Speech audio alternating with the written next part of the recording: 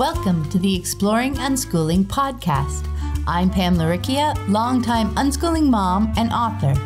Join me and my wonderful guests for interviews, information, and inspiration about unschooling and living joyfully with your family. You can find the episode show notes, your free introductory ebook, What is Unschooling, and lots more information at livingjoyfully.ca. And here's the show.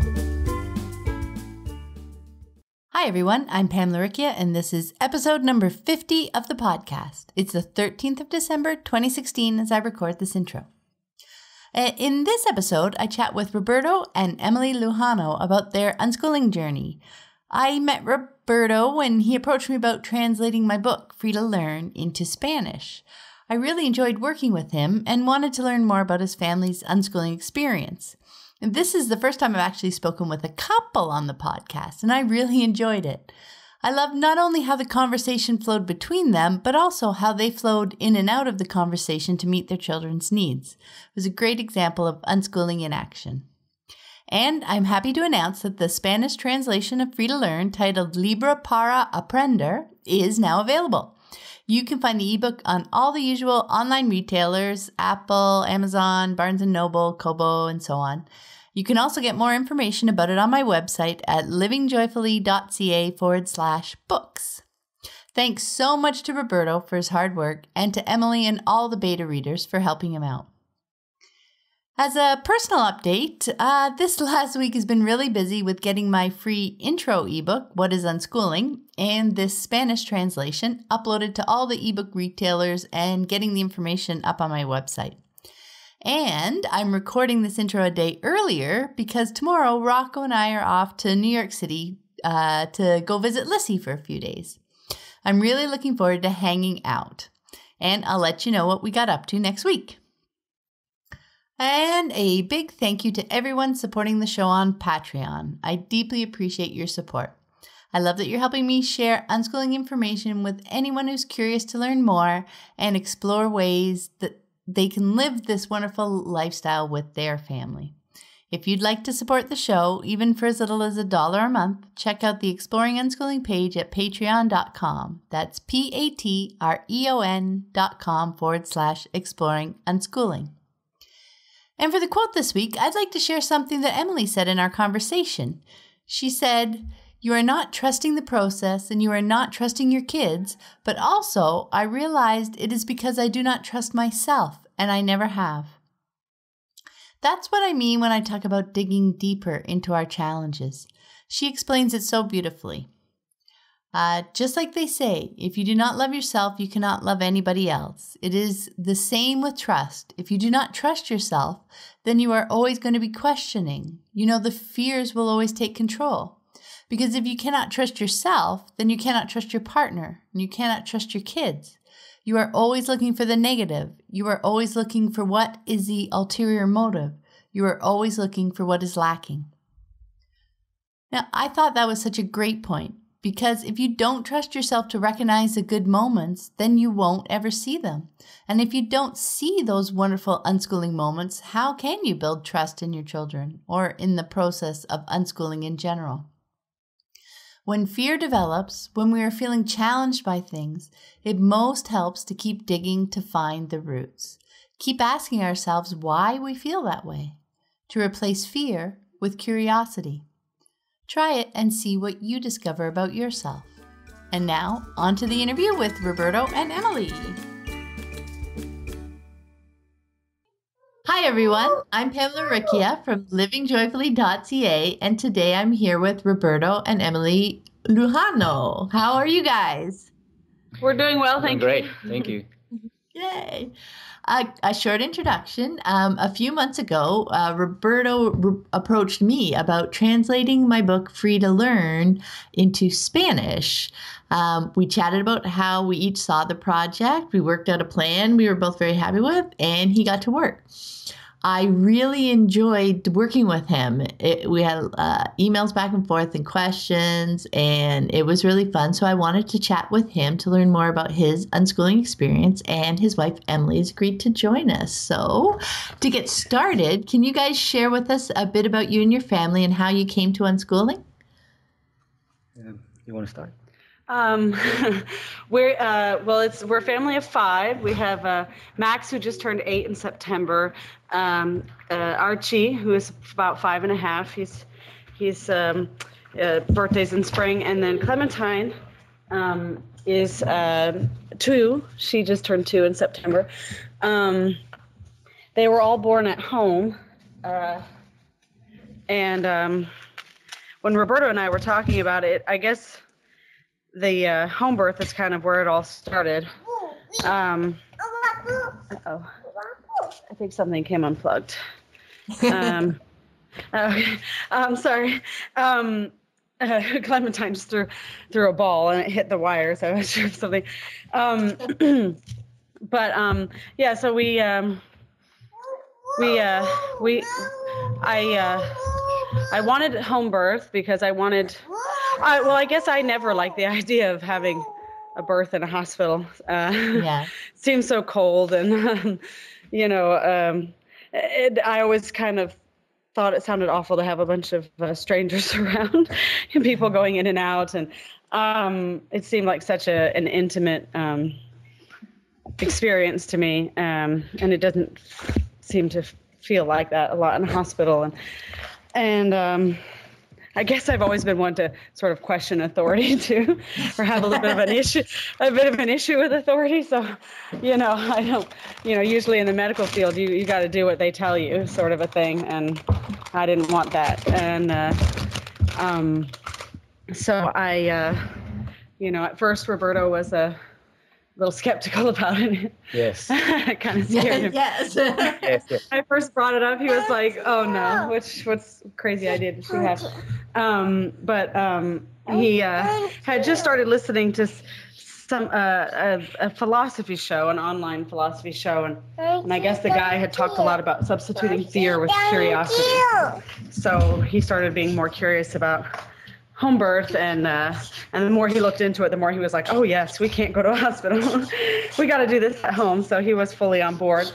But sorry long story short we don't need we weren't here to talk about home birth but my midwife um, she's just this wonderful lady and when we started going to see her she would ask us you know when max was born we didn't know he was going to be a boy but because we didn't want to find out but um, she would ask about circumcision. She was very much against that, and um, and she she wasn't pushy, but she'd ask questions and wanted to see what we thought about it, and you know, and then recommend us, you know, information or things, and uh, and you know, she didn't she didn't circumcise her son, and she also we uh, we started looking at the vaccines. She didn't vaccinate hers, and we didn't want to vaccinate ours, and uh, and she was also a homeschooler, and uh, so. Um, and just with you know reading you know with with with the home birth and the, we you know all of them are nursed like clementine right now is fussing because she wants to nurse and it's like her favorite thing to do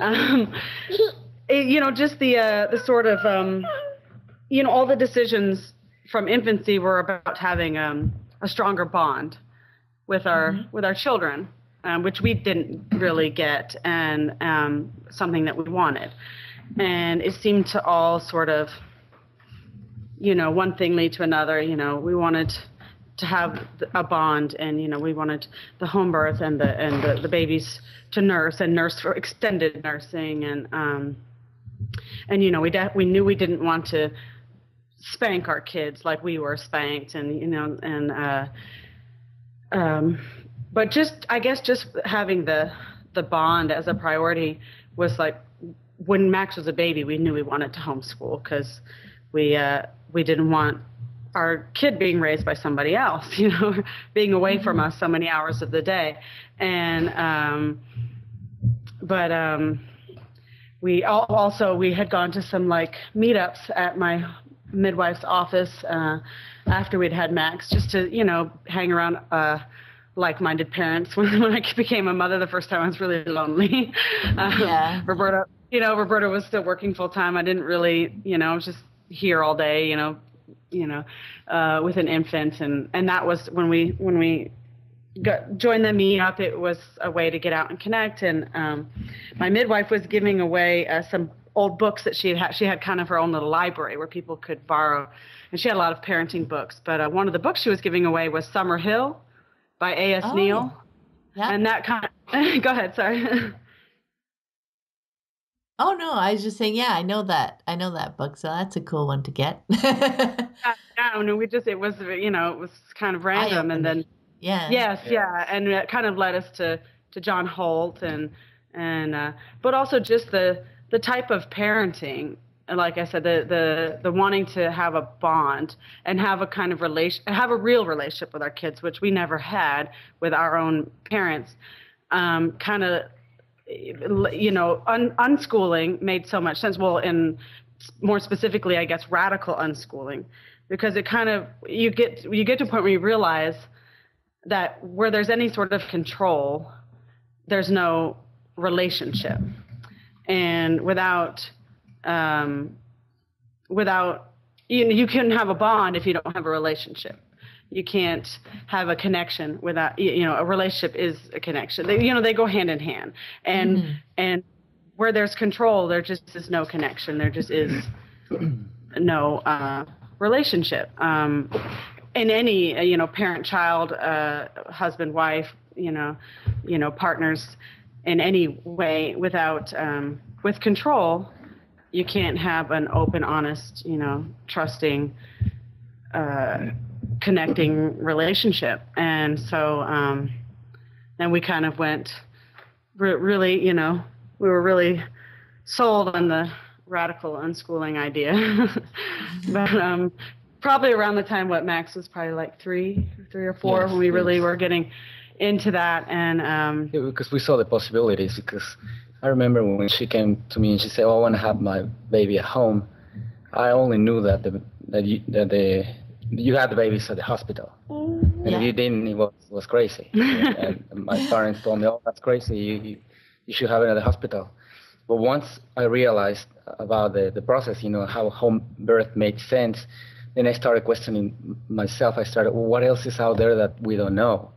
And, and with that came the vaccination and the circumcision and all that. Not just uh, not just saying, "Oh, I don't want to do this," but really investigating and reading about the, the topic and realizing that well, circumcision is not necessary and vaccinations are, you know, more dangerous than people might think.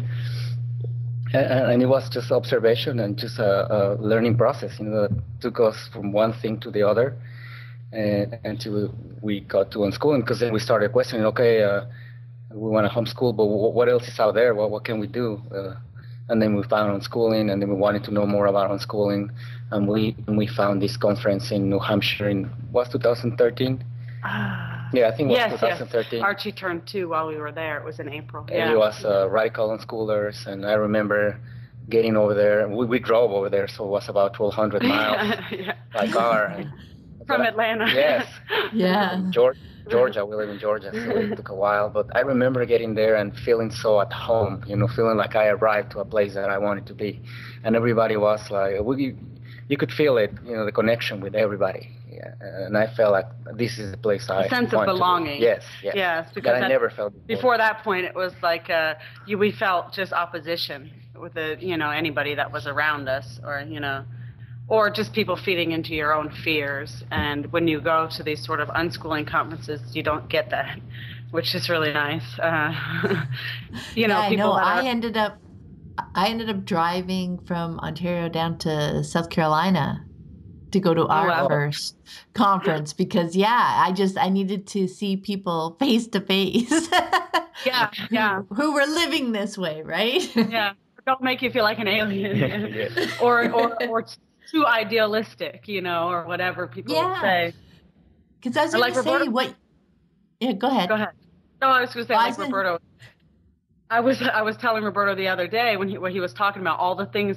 It just got this sort of snowball. We started questioning everything. At, you know, sort of started with home birth, but it was like uh, I was telling him the other day. It was like we started this own sort of radical revolution in all our lives, in our own family. Like we just started realizing all the ways that other people make decisions for us, and we allow that, and um, or let the status quo run our lives rather than really critically thinking about everything we do and why and and um, and really making a decision just for ourselves, you know, and not for anybody else, and wanting to have that example, you know, for our kids to uh, yeah to to to decide things for themselves and not for anybody else, you know.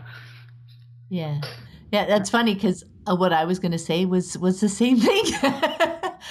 um, I loved uh, what Roberto was saying about um, you know when you start questioning everything, and the point isn't you know as you said and and you said there too emily it's not to like just make the opposite choice. It's the critical thinking piece right? It's the yeah. investigating and seeing what really makes sense for you and following that.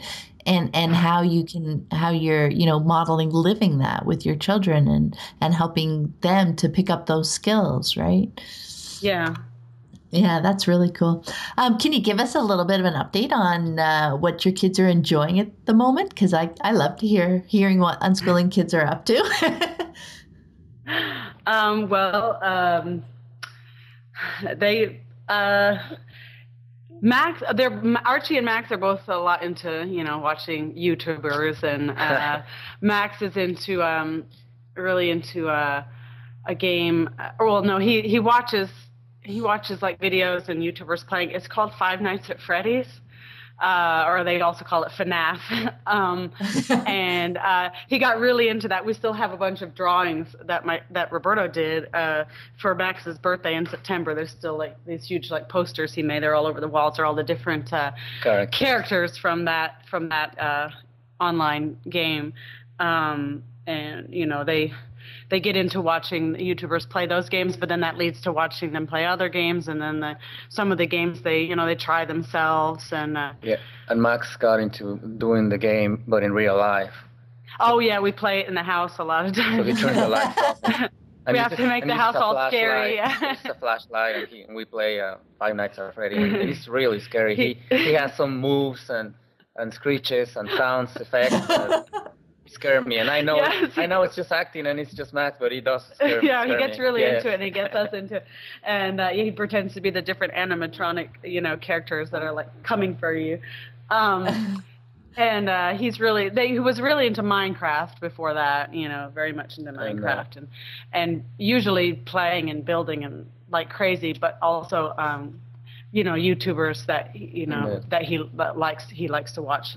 Also, a video game called Little Big Planet. Little Big Planet. He, yeah. We have a mm-hmm. PlayStation. He's really into Little Big Planet because also it's a very creative game. He likes games where he can make his own costumes and and and create levels and things like that. Yeah. So he does a lot of uh, a lot of that, um, and uh, he has a lot of apps and games on his phone that he likes to play. Um, he's uh, he's he's always liked reading. Uh, he likes comic books a lot, diff, you know, different kinds. He'll try. He'll just look at all the different kinds if we go to bookstore, library, and, and pick out ones that he likes and yeah. Reads them. Um, he likes when it comes to reading. He likes the books that have like illustrations, like, yeah. like comics. Yeah, yeah, mm-hmm. graphic novels. Graphic novels. That's um, his, I think his favorite. And uh, Archie, Archie's also really into you know watching things online and stuff, and um, and he plays Little Big Planet too. And he's recently gotten really into Minecraft. He liked it when Max played it, but he's gotten more into it now. Uh, he plays it by himself. Um, he's into trains. He's always been very into trains. Yes, he's been collecting all the Thomas trains for oh, for years yeah. now. He has tons of the wooden ones and then the Trackmaster ones, which are like battery yeah. powered. Um, he can tell you which one is which just by oh, yeah. looking at their faces. he can name all of them. Like, yes. You could hide the, every part of the train and just the face, and he would i mean and there's hundreds of them i mean it's incredible yeah. they come out with new characters you know you know more more to buy you know he yeah. uh, he will he will basically work for train yes yeah he's very into them and uh and uh and they you know they love just climbing and jumping a lot of times Jump. they'll take a break from their they're uh, Jump, jumping on the bed, sitting in front of the, computers or you know yeah. games for hours, and they'll go they'll go jump you know jumping on the bed or, or jump, running around the house or playing like Roberto said, recreating the the games you know in, in mm-hmm. real life.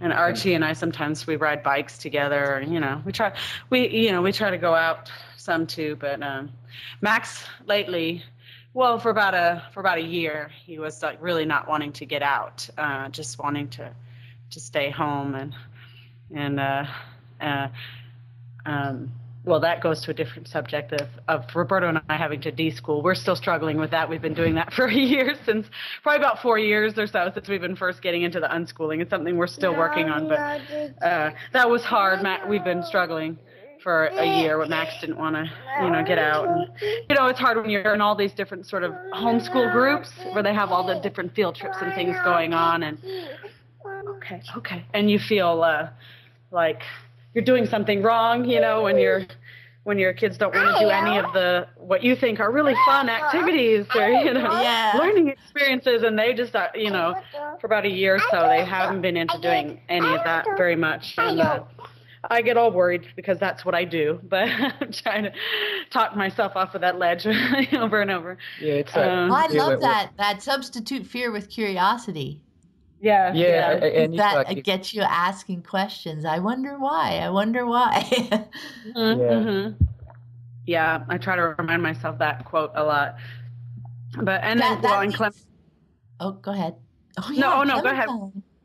Yes, well, Clementine, she's also she's um she's into trains like her brother Archie. She always wants to play with him with the trains. Um, a lot of times that creates a bit of a conflict, but um, but yeah, she loves the. Uh, she really likes the trains and the cars and um, she likes to paint and draw and she likes to be read to and um, Max was always he liked to paint when he was Clementine's age a lot too. He would always want to paint.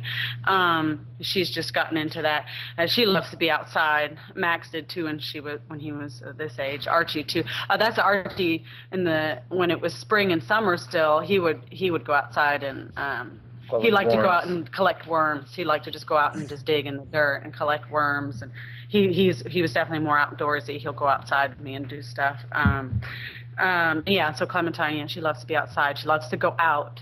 I think also because she's the youngest and we try to be going out and doing things regularly outside with the boys. So she's from the time she was born, basically, she's used to going out, you know, and doing Yeah. things. Especially because Roberto was here since he took a, a you know a sabbatical to, intentionally to be with us.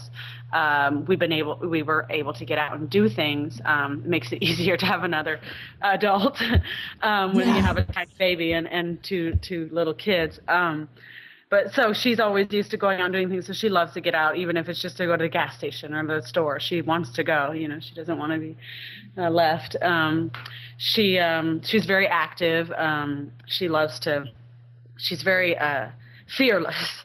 Like she'll Yeah. jump off things. She'll climb She'll climb. things that are way high. You know, she uh, she just wants to do it all, and she wants to do things herself. And she uh, we're trying to encourage them. yeah, I'm trying to. I was, I I uh, I regret very much. I was very overprotective with Max and being my first, and I just wanted to do everything for him, and and you know, help him do everything, and you know, not realizing how detrimental that was, you know, to his own uh, confidence and self-esteem. You know, thinking thinking I was, uh, you know, the the the control was definitely a big thing. Uh, to, I had to let you know let go of when we started down the Mhm. unschooling path. Um, but it's a process. We're still we're still we're still struggling with it. subconsciously we keep doing it. Well, you have all those Oh. voices in your head, and with all the Yeah. with all the different homeschool groups of you know the parent, we're in all these sort of holistic groups and sort of um, natural living type groups. So you have all these sort of ideas that I personally agree a lot uh, agree a lot with, and then a lot of the things that my kids are into or that they want go against all these sort of ideas. So it's like, you know, I have to remember to trust them and not let all the other voices. Um, That was that was something I found too. Yeah, especially those first two or three years. You know, as I learned more and transitioned, like like you said, like there's other groups that I felt connections to. You know, um, even you, you know school groups because my kids were in school before I found out right um, Yeah. about homeschooling and and took them out um, but it did take a while like to transition you know i was i still got some things out of those groups but then after a few months or a year or two you know um, they i slowly you know kind of dropped off as in you know i didn't you know uh, want those messages anymore Yeah. they weren't they weren't helping me anymore and and Yeah. it, it wasn't about um, you know going silent it was that i found i eventually found other groups that also made sense and were in the direction that um, seemed to work better for for me and the kids right because Yeah. like you said it's like oh but these are the kids i have you know these are my kids Yeah. they're the these are their interests and and what they want to do and these things over here this kind of information um, is is helping me build that whereas the other stuff every time i hear it it has me questioning myself or Yeah, feeling like we're yeah. not doing enough or something Yeah. so yeah, yeah, I totally remember that. And and plus, you're you're you know, sorry to say, you're probably always going to be going through these processes.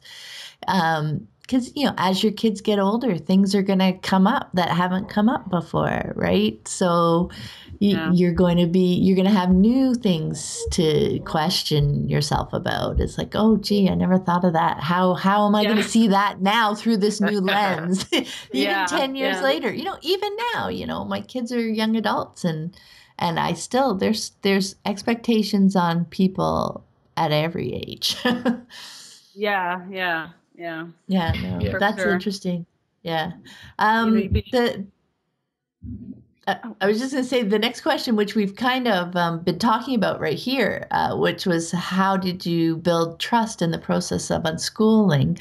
Um, so we've talked about, you know, um, learning about it, thinking critically about it, seeing um, our own kids and what works with them, and seeing um, how they how how they're learning and figuring things out for themselves.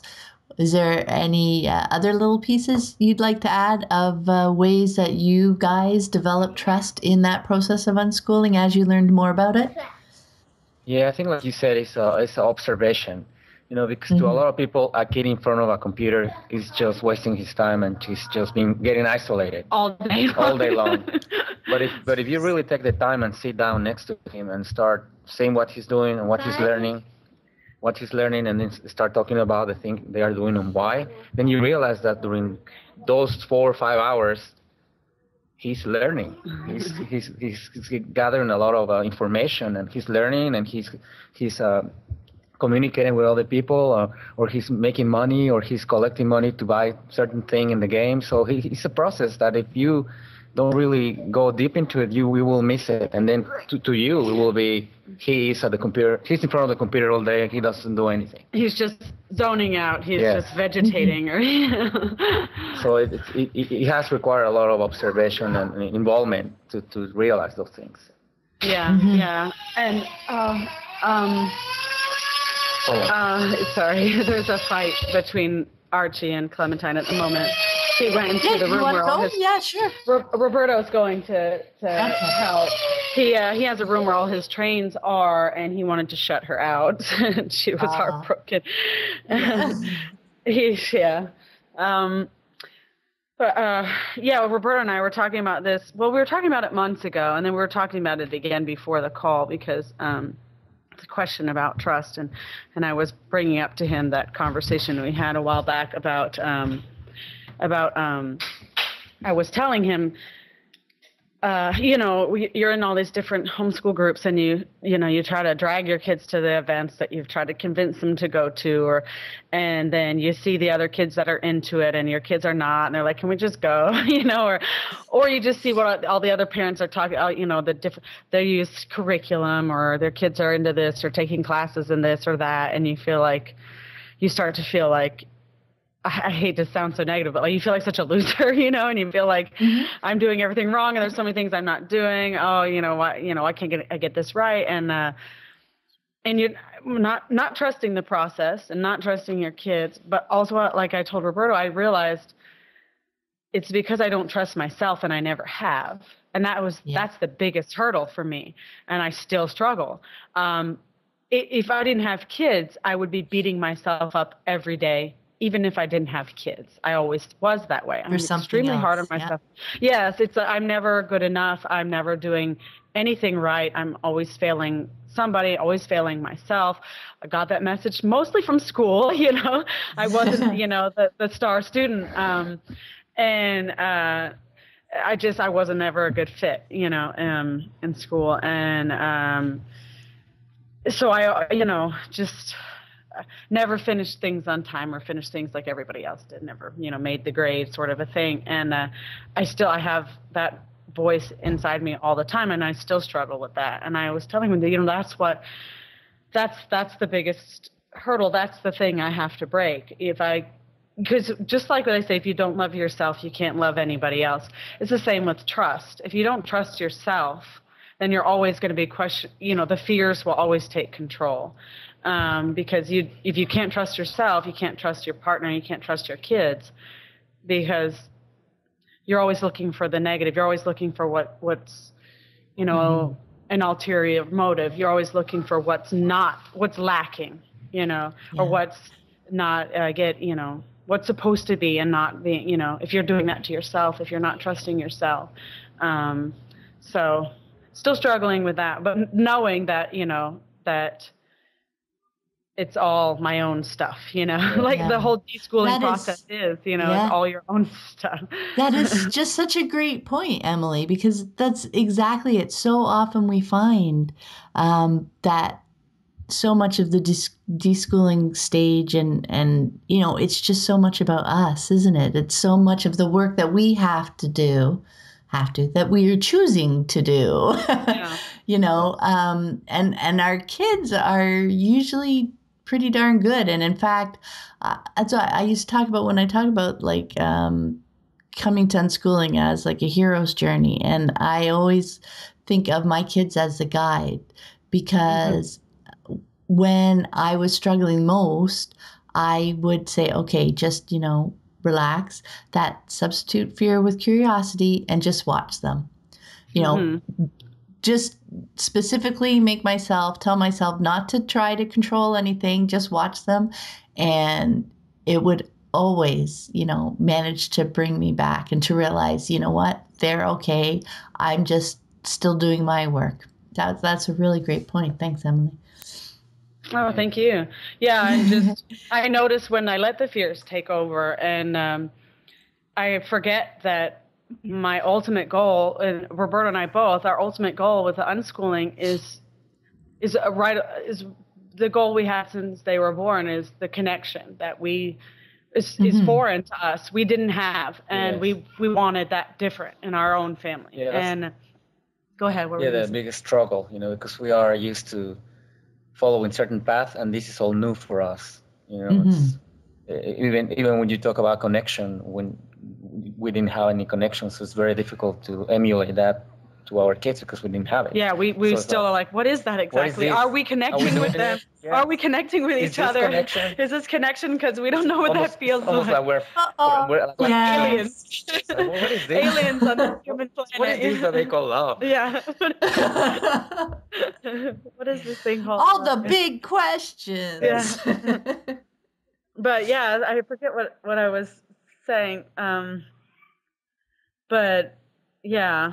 Um, just, but and it's relearning. You know, we're we're learning. Like you were saying, they they know this. They know more about the process than we do. Yeah. So we're really learning from them. They have to remind us constantly. Yes, yes. So the, the only obstacle in this process is really us. Is us. Well, our conditioning, yes, you know, the, conditioning. the horrible conditioning. Um, but yeah, no, I think that's what I was gonna say is that I when I let the fears take over and I find myself trying to control again and in whatever manipulative way I I'm I'm doing um, the the then it's it's animosity you know with Max. He just gets angry. He doesn't want to be around us and he goes further into the into the screens which is what the the big thing that I I think I'm sorry Roberto's going to step away for a second. The Clementine's crying she's she's in that room with Archie and I think no there's another conflict. Um, um, what was I saying? Oh yeah, so um, um, we yeah we I see the I see the loss of connection like immediately as soon as the as soon as the fear and control you know and they they just they uh, just just like when you can feel any anyone else's fear coming out of them and and mm-hmm. uh you know, I mean, anxiety. Like Roberto and I struggle because we're both high, we're high anxiety people. We, we're we're just very, you know, anxious, and it comes from you know our upbringings. And and uh, when you're around somebody like that, you know, it's it's uncomfortable. You know, so when our anxiety is going up and our fears about things, you could see that he just, you know, he wants to escape from that. No, it's just like anybody. You know, yeah, mm-hmm. they feel it just like we can as adults too. We feel and. Mm-hmm you know, either we're like Roberto and I, we feel somehow responsible, you know, for the other person's anxiety, which is not the case. But you know, we were also raised to to feel responsible for other people's feelings and to put ours second. And um, and uh, you know, so you you know, I don't want that for my kids. Of course, I want them to not feel like they have to do things to manage my anxiety. You know, and mm-hmm. uh, so it's either they start doing that or you know or they feel you know you could see like they feel like a sort of a guilt um, because I'm upset about something that they're doing when and then I real and then I remember I don't want them to feel like that. I don't want them to ever feel like they're they have to do something about my feelings, you know. And mm-hmm. um and then I remember, oh, no, this is not what I want. This is not what I want between us. I don't want that sort of second-handedness, yeah. that sort of codependency, that sort of, um, you know, put your feelings yeah. aside. Uh, don't trust what you want and what yeah. you feel, uh, because you know, mom or dad are upset about this or that, you know, or that, and that, that at the end confuses them because then they will start doing things just because to make you feel happy. Or, yeah, yeah, yeah. You don't want them to, yeah, yeah. Instead of or, because they want to do things. Or like we see from a lot of other parents um, that are in different homeschool groups we're in, that um, they we don't want our children to ever feel like or I, I, guess I shouldn't call them ours, but you know, Max and Archie and Clementine, we don't want them to ever feel like they have to ever hide anything from us, especially not something that they like or that they want to do or they're just their feelings about anything. That I we want them to always feel like they could be completely open with us. You know, you always have people telling you, "Oh, you you have to be a parent, not a friend," and I we both find that to be complete BS.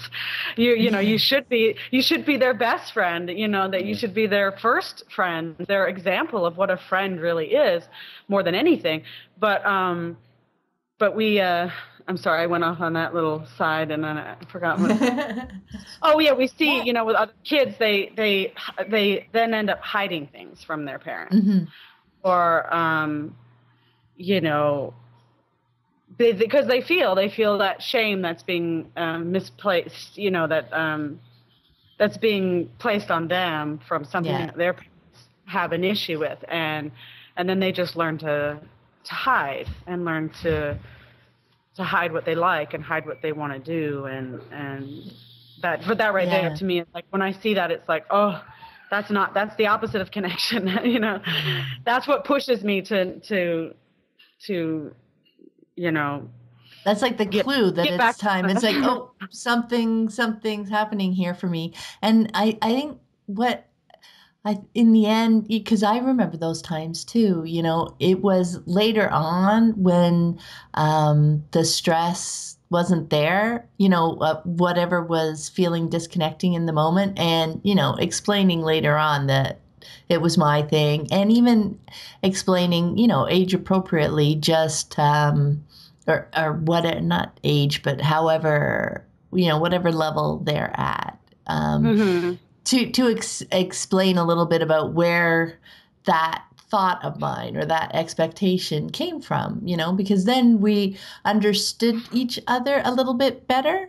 You know, yeah. they knew more about me. And it was also an example to them, you know, so that when they felt something was off, that, like you said, that it was okay for them to tell me why they felt off, even if it was something that you know I did that triggered something for them or whatever. Yeah. But but yeah, it was it was really amazing to me how um, insightful they were even in just short little conversations like that over the years and then they were able to start you know pointing out to me when even why something seemed to be going off the rails at any point yeah yeah yeah, yeah no. they really are amazingly yeah. you know insightful yeah so th- those conversations yeah i mean I, we wouldn't typically have them um, in the moment because in the moment is is um, it, it's hard to think at those points, right? Yeah,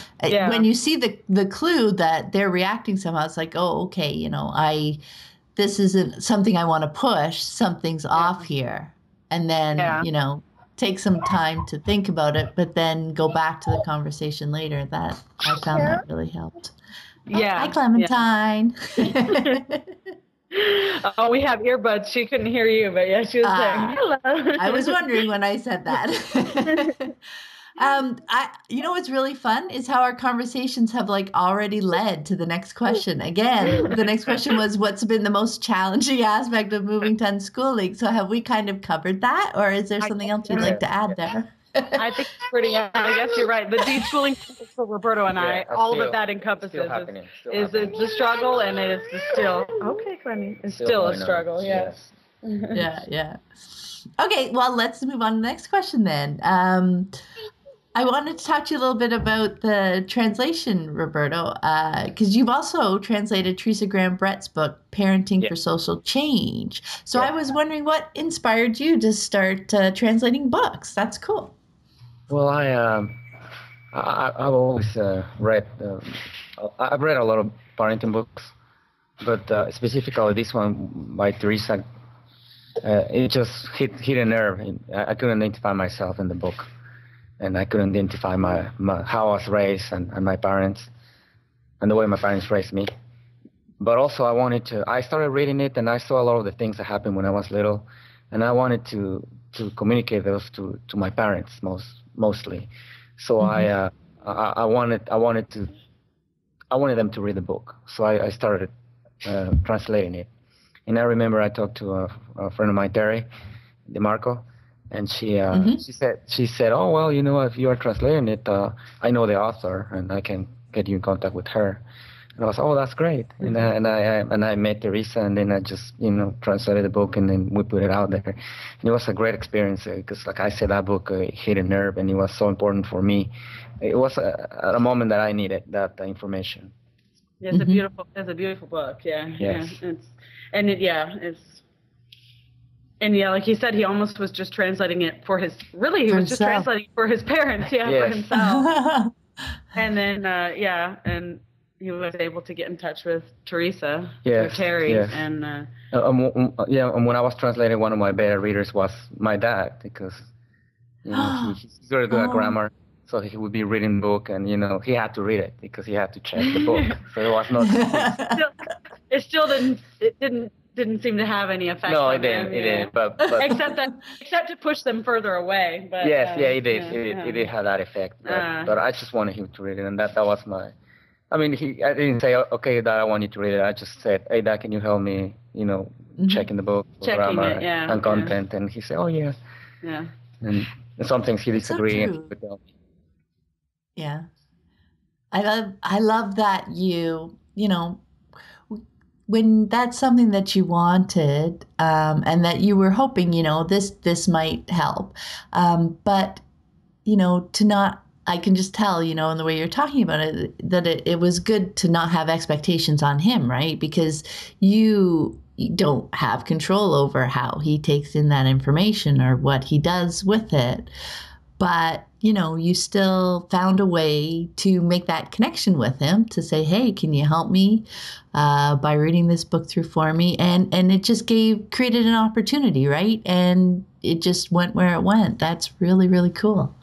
Yes, yeah, and, and once I I finished this book and it was published, I, you know, because I I had uh, I quit my job in in 2015, and I'm one of the. I mean, I'm gonna I'm gonna talk about it right now because yeah, it kind of makes. Well, that sense. was one of the reasons you started translating Yes, the yes. book because it was like, Yeah. oh, like I want to do, I want to do this, and I have the time. Oh yeah, because I, I quit and I and I and I thought, said to myself, I want to do things that I never done before, and that I want to do that. And that you're passionate about. Yeah, and that I'm passionate about it because one of the things about unschooling is that you do what you're interested on, Yeah, and what you're follow passionate your about. interest, yeah. And at that moment, work wasn't what I was interested on or what I was passionate about, and I, and I couldn't I couldn't in good conscience go eight hours a day to a to a job that I wasn't enjoying anymore, and then come back and tell my kids, well, you know, you need to do what you're passionate and what you want to do. And I couldn't do that, so I I I decided to just take a take a year off. That uh, went into almost two years now, which Yeah.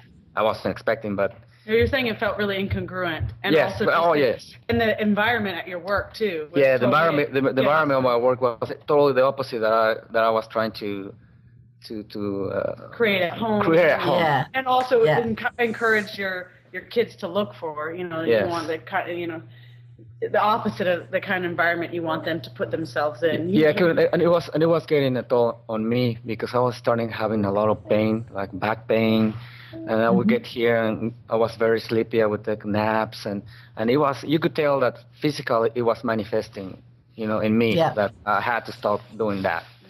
And I, I, yeah, I remember getting here and we so exhausted. Exhausted, that was the word. from kind of faking it all Yeah, day. from like faking how- it all day. say you would feel. But when I quit, and then I started doing things here, and I started translation, and we started doing. We, we lost the, the time and days. Yeah. There, were, there were times where I didn't know what day it was or what time it was, and I didn't care. And at the end of the day, I was, I was so tired, but it was a different tired. It was a tired that you go to bed and you like smile before you're gonna fall asleep. Yeah. Yes. It was much more relaxed. Yes. Yes. It was a more fulfilling tired. Yes. yeah, then- yeah. than a beat down tired. Yes. But then going back to the books, I, you know, I started looking at the books that really, you know, made a change in my life, and and and then I started asking myself, well, you think you could, you know, translate all these books into, into Spanish, you know, 'cause they make that much impact, and I and I was yes, I think I can do it. So that's how I got to your to your book, and that's how I got to uh, two more books that I, I translated, and and I have another one work I'm working on, and, and it's just been great. That's awesome. Yeah, I love I love that story. That's it's it's cool when you can give yourself that time, right? To to discover what what is it that I would uh like to do. And and it's not like you need some big passionate answer or something. It's just like, "Oh gee, you know, cuz how did you start? You know, I'd like my dad to read this book." You weren't even, you know, uh, talking to the author yet or anything. You know, it was just something you wanted to do that just little step by little step took you here. And now you've done a few books and you're doing more. Yeah, That's really yes. cool. Yeah, uh, yeah, and it's a, a kind of slow process for me because I, I read the books and I, I really I, I really need to like it, you know, so that you, you can get involved with it. You know, you can feel Yeah. it, feel the passion. Because if you translate just any book, that, that doesn't really work. Yeah. To, he only wanted to translate things that he was yeah into because he was because really just the process of doing it is is what you're getting out of it really Yes. I mean it's more just the enjoyment of Oh, the enjoyment and the learning. Yeah, you know, yeah, because yeah. You, I read in English and I get some out of it, but when I translate into Spanish, I get the I get feel that space in my brain. I would say. yeah in the Spanish version. so when I talk Yeah. to Spanish speakers, I have the vocabulary and I have the, the sentences and the Oh, idea in- in, yes, yes, Spanish yes. already there in my head. yeah I don't yeah. have to start thinking of how do I say this? How do yeah I? You kind of- and- Okay. and, how to communicate with your parents although we've kind of given up on Yes, that yes, yes. Yeah, Yeah. But again, for all these books, I still have my dad as a better beta reader, and I send him this the the, the thing I've translated, and he reads it. So the only problem is sometimes he tries to actually change the uh, Yes. ideas and Yes. it's like uh okay yeah, he would say, I don't agree with this author, and he should say this and this and that. And I'm like, Dad, you should write your own book. Write your own book, Dad. That's not the idea that this person is trying to get across. Yeah, yeah. So Oh, that's fun. and true to form leads us nicely to the next question. Um, because what I found uh, really, really interesting about the translation process, because um, got uh, French Uh, French Free to Learn was out last year, and Spanish one. By the time this podcast airs, the Spanish book will be available. And I've um, been working for over a year now. Uh, Hungarian translation is going oh, to be coming out soon. Um, but as you were talking about, it's not about translating the book itself word for word. It's really about translating the ideas, right? Because so when you take an idea in English to Spanish, um, you may use very different words entirely um, to try and get across that same idea and i find that uh, really fascinating yeah. um, i was wondering if, if you could share an example from uh, free to learn from free to learn. Yeah, well, this, this is a word that I, that I was struggling with, and, and, and I left it as unschooling because uh, there's, there is not a translation of the word unschooling other than uh, they call it uh, uh, without school. Mm. Mm-hmm. Descolarization? Descol- is that the no, no, that's that, that would be deschooling. Oh, okay. Deschooling, there's a translation to descolarización, but unschooling, there's none. And, and there was uh, there was a struggle because I was uh, talking to one of the some of the beta readers and, and, and they were suggesting using Spanish, but at the same time you can't do that because the, the word is already recognized here and and it's also recognized in Spanish speaking countries. So if you change the, the word to something in Spanish, it will get lost. And so, also, and, you said the word, the the words, the other words that you could translate, they were already sort of groups yes, using those words, yes. and they they weren't technically they weren't exactly unschooling. Yeah, yeah, they weren't they representing the same so, movement. They were educación natural, stuff like that, that, that, that had a different uh, philosophy, different, meaning, different yeah. meaning and different philosophy. So, but unschooling is unschooling. You know, you can't change that because it comes from here, and it it, it, it should keep its philosophy everywhere you go. So, uh, I mean, I guess that's not a good example. well, that was the ultimate example when he was. I, I was gonna say.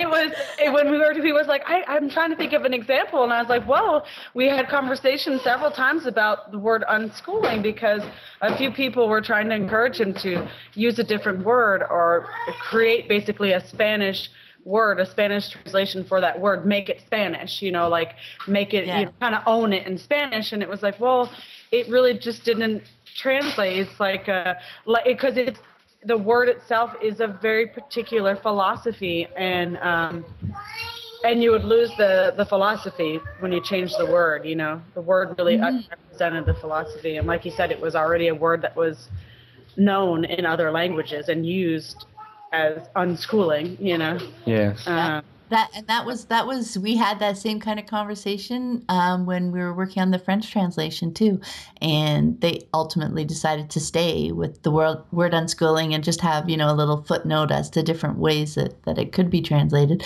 But yeah, it's like the ultimate question, right? yes, but but then there's other words or, or other uh, idioms or idioms idioms that that those ones can sometimes they can be translated to Spanish, but sometimes it's a total different idea. If you translate it to Spanish, it would sound foreign, crazy. Yeah. what? yeah, like it's like, what yeah. the heck? Yes, but sometimes Roberto is talking to me and he'll use like an idiom from Mexico and he'll basically translate it and i'm like i've never heard that saying before. And i'm like what? What did you just say? And it's like oh well in Me- you know in mexico in spanish they have it means this yeah, yeah, and i try to think and i try to think of an, a, a similar idiom but it's not use not using the same language. Yeah. a, yeah and with, and with the with the beta readers we had people from uh, peru and we had people from i think venezuela and, and somebody from spain and so it, it was different some people would not know what the, my translation meant, you know, the the the, mm-hmm. the phrase I used. So what I would go is always back to the to, to, the idea. What is the idea behind the, the saying or, or the or the idiom? And I would just use the idea. I would completely mm-hmm. take that part off and then just put the idea, explain it basically. Yeah. So that yeah. it doesn't matter where it was, was in Venezuela, Peru, or Spain, they would get it because it was already explained. Yeah, I had um, the two editors working on the French uh, version. One was in France, and one was from Quebec, Canada, and and they ran into phrases like that too. You know, like oh that that French phrase is not going to mean the same to me as it does to you. So they would, yeah. you know, then go back to the idea and come up with a way to say it that the same understanding would happen in both countries or people, you know, with the background, um, language background, either from Canada or from France. So yeah, but I find translating uh, just just really fascinating. I love when uh, people are interested uh, in doing it. But that's why I know when I was talking to you that the for me the beta reader stage is a really important stage because that's when um, that's when you can see you know mm-hmm. people from mm-hmm. different areas um, how how they take in the words because it's fascinating how different it can be mm-hmm. even with everybody reading the same language isn't it? Yes yes yeah. So, we, we had a lot of good conversations. Yes yeah yeah i, I would he'd come talk to, me, to him about it and it brought up a lot of interesting yes, conversations yes. yeah and getting yeah. to dissect more the idea. Yeah emily helps me on all my translations because sometimes well, we I don't get it. with everything. Sometimes I don't get the idea, so I get her to explain me what it means, or what she understood. or give it then to thank you emily no, no, no. Th- well, thank you, thank you for your work, and yeah, no, it's just we, yeah, we, Roberto and I help each other with with everything.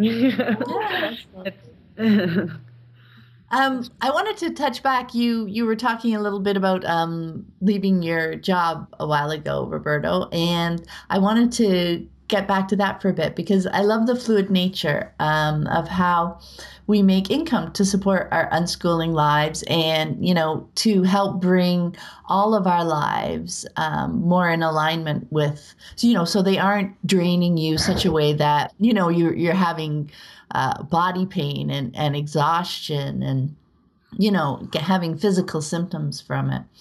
Um, so you can definitely change over the years the different ways that we come around to meet both our personal and our family needs together and as they evolve over time too. Um, so i was hoping you could share a little bit about how you made that choice and how you managed that transition um, from work to home Yeah. and then later we'll get to your new upcoming transition. Yes, yes. Uh, well, like I said, I decided in March of 2015 that I, I had enough of work. well, we had been talking about Yeah, it for we've been talking about it, year yes, more, yes. like flirting with the idea of Yes. him taking some time And, off. and we did have some, uh, we had a cushion, we had a cushion so that we could make that choice.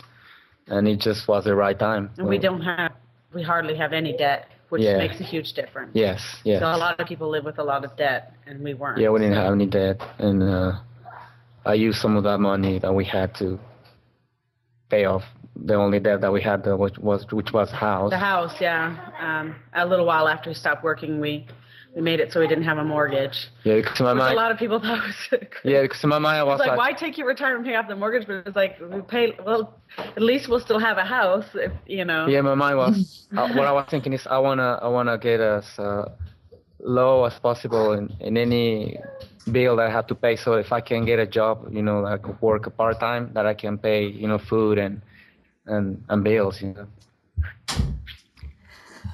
yeah, no, that's uh, it- it's again um, what you're actually you know looking at your own situation, right? Instead of what people are expecting you to do, you you can play around and see what really works for you personally and be comfortable making those choices, right? Yes. Oh yeah, his parents freaked out when he Yeah, told us. everybody, everybody freaked They out. freaked out. Do you want me to not elaborate on No. that? It will be another podcast for another podcast. No, but yeah, yeah, we got everybody. Even even our our friends uh, told me, "Oh, that's reckless," and why would you do that? Or well, But because they didn't see really the value, but I, I, I had already seen the value a long, a long time ago. even Because- if they were gentle about it, it was Yes. like, uh, oh, you could see their fear, and that's really what it is. They're just, they're, they're, you know, they're just, they're putting their fear on, fears on you into you. Like they, they, the, I, like they would entertain, entertain the idea for a second in their minds, and it was like, whoa, you know, like I could never do that, or you know, it was basically how they felt about it was, was they were putting it on you, you know, it, you know. Yeah, Sorry, I remember when yeah, just one quick story. I remember when um when we were telling people, you know, that uh well, I'd left work and then a few months later then I had discovered because I had more time to actually, you know, uh, research things. And then I found homeschooling and then I found unschooling. But I remember thinking, you know, because people's reactions were really quite um, almost over the top. They they thought what we were doing was so risky, right? Yeah, so fearful. Yeah. The reactions big, are so yeah, fearful. so yeah. fearful, and it's such a huge risk, and they couldn't imagine doing it. And then I realized, you know, as I thought about it, as you know, it doesn't. Am I missing something because this doesn't feel as risky to me as everybody else seems to think it is? And yeah. then I realized I know so much more about my situation and the research and stuff I've done. I have more information about this particular choice than they do. So what they see as risk was a lot less risk to me because yeah. I understood it, you know. So it sounds like that's probably a lot of what was going on there too. Yeah, it's a really good point. Like you you like you're saying uh, like it kept like am I supposed to be afraid? Am I supposed to be worried about yeah. this, you know? Mm-hmm. You'd start to doubt it because like you said you didn't feel it. You didn't But that's a really good point that like well, I don't feel the fear because well, I have more information. One, I conv- yeah, more information, and these are my particular choices I made for myself, which yeah. in itself is scary. You know, we're not trained to to make decisions that are only for us and and that go against anything, and you know that are uh, that appear risky to everyone else. But um, but yeah, just that you know so much more about your own particular situation, and when people are responding to your choices they're thinking of it from their situation and from their choices and from what they know. Yes, um, I mean, which just seems so obvious, but it's like you, I had, you know, you don't think about it, and it's like, yeah, that's true. yeah, but also at the same time, you don't want to explain the whole situation to them over and over. Yeah, yeah. Oh no, you don't want to explain because you don't want to convince them. You just say, "No, I'm good." yeah, yeah, yeah. But yeah, the other thing they don't have is is you know we know what we're what we believe we're going to get out of these choices too right? I mean yes, yes when, when we're when we're choosing unschooling when we're choosing you know different job choices you know that kind of stuff we we know where we're going with it you know? We see where um, the future and what we're going to get out of it whereas they probably have have don't have much of an idea. Yes, yeah, yeah. Yeah, I definitely. One of the main reasons was it wasn't to look for another job that I knew that I knew for sure. It wasn't to do anything else but just spend time with my family and my my children because I realized that I was working most of the day and then I came home tired, cranky, and then I had to go to bed because I had to get up the next day to go to work again and all your good energy was was being spent somewhere you didn't yes. even want to be. And uh, and I was thinking, well, you can't live life four weeks at a time because you know I have four week vacation. so I was like, no, I gotta I gotta do something right now. I don't want to wait till I'm 65 to get all this you know money that will be worthless then. That was something we we had come to every time we would like start to be fearful of should we do this should we not or when we after made a decision it was like well we could say for sure that if he didn't do it, if he didn't take this time when he really felt like he needed to and wanted to, and you know everything was in him was pushing him that way, if he didn't, and he when he was older he would regret it, but mm. he was most likely not going to regret doing it. You know, we yeah. we didn't know it was ju- it was a leap of faith. I guess I I don't want hate to use the word faith, but uh, you know it was like jumping off of a cliff or you know jumping blindfolded. But we yeah. we knew that we knew that we w- he would regret not doing it. Yes, so, yes. like that was something we had to remind ourselves of all yeah. the time. Yeah, we, we I saw it as an investment. You know, they said that in order to get money, you you know what is it? In order to get money, you have to spend money. So mm-hmm. I thought to myself, in order, it's an emotional investment. In order to get uh, your kids later, you have to invest emotional in them right now and that means yeah. being with them and listening to them and connect with them. Not later because later they'll be grown and it will be very difficult to connect if you don't connect right now. And how are you feeling um, you know are you in a more comfortable place now um, as you're you're choosing to uh, go back to is it full-time work that you're you're moving on to? You were telling me about a, a new job and i thought that was cool too uh, yes. Yeah, well, it's been uh, almost two years, and I uh, well, first of all, I'm I'm, I'm kind of low in low in resources, so that's also one of the reasons that I mm-hmm. I'm deciding to go back. Yeah, but that I, happens. But, I, but I, yes, but I um I I've done a lot, and I have, I feel like I've connected more with them. You know, it's this a more mm-hmm. solid solid relationship with all of them, especially with my with my uh, two year old. You know, as I've been home mm-hmm. since she was born and I've been at home every day for for her whole life. So that that that is a is going to make a big impact in her life. You know, just having her father here every day. And uh, like I said, it's just an investment. And, and I, mm-hmm. yes, I'm mm-hmm. going back. I'm going back to work, but I'm going back to work in a different way. I, I have learned a lot about myself with all these, with all the books I read, with all the things I learned. I'm more aware of myself. So when I go to a working place, uh, it will be different. Oh yeah, I think I mean I can just imagine the the mind shift, like the totally different perspective that you're going to bring with you, right? Um, and the connections that you have with your kids that you're going to be able to, you know, come home to and be comfortable uh, reconnecting and building on those. You know what I mean? So yeah, it sounds like you're in a completely different place now which I yeah. think will make a world of difference, even even at, at, at work for you as well as at home. Yes, yeah, and uh, and I had the opportunity to find a company that is family oriented. You know, they are very mm-hmm. flexible mm-hmm. with your schedule and also allow you to work at home, and that's what I was looking for. That was one of the reasons I quit my previous job because they were very very they weren't flexible at all. And they, yeah, yeah. And that was a big part of, of, of what I wanted to do. Oh, that sounds like you found a found oh, a great. Well, we'll see, but um, you know when when you actually start there. But it sounds like you've uh, you know knew what you were looking for, right? Knew what would work work better for you. So that sounds that sounds wonderful. I wish you guys all the best of luck with that. Yeah, and, and this time I, I'm I'm going back, but I still in the back of my mind that I want to get out soon. Oh. That, so you're oh. going to go and and and save up, uh, you know, try try to save money while you're there, so that you can take another sabbatical. Is that kind of the idea?